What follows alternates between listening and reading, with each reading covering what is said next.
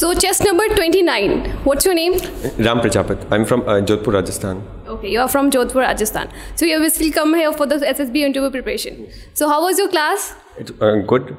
Okay. And how was the experience with Colonel Pankaj Malhotra, sir?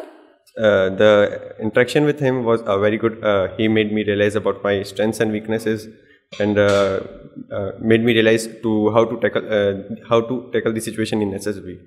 Okay. So, you're having a great experience with Colonel Pankaj Malhotra, sir. Okay, all right.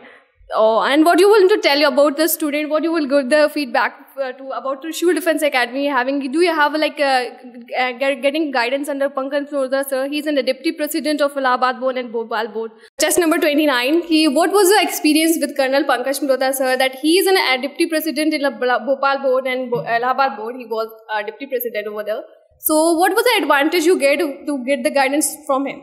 Uh, so he uh, advised that uh, how to what to do, what to don't, uh, what to do, and what to not to not to do in the SSB. Okay. So uh, mostly people used to tell what to do, but they don't uh, tell you what to don't do. So you get the more advantage over here. Okay. Thank you so much. जहां बनते हैं देश के गौरव India का एकमात्र ऐसा coaching institute जहां cadets को ट्रेन किया जाता है आने वाले डिफेंस एग्ज़ाम के अनुसार।